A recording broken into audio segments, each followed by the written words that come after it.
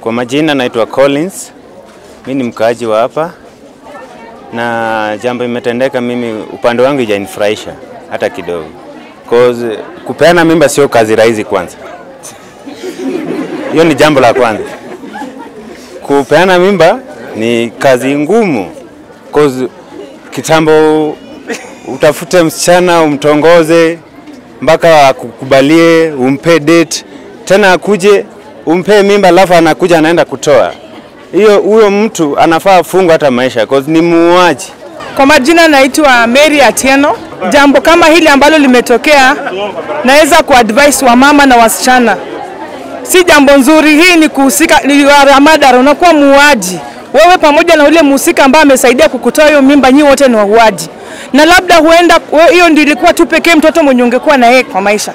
Unajikuta umeenda kuoleka, hauzai mnaanza farakana na mume wako sababu ulikuwa unatoa nini? Unatoa mimba. Kitu kama hiyo sio mzuri. Hata madaktari, hizi hospitali ndogo ndogo ambazo tunaona, nafaa mwe mnaokoa watu, si kuua watu na kuangamiza watu. Ni jambo mbaya sana, kwa sababu unapata kuna wamama wanaenda mpaka kwa mapasta, wanatoa pesa mingi, wanaombewa tu wapate kuzaa, lakini wewe unapata mimba, unatoa, unaua.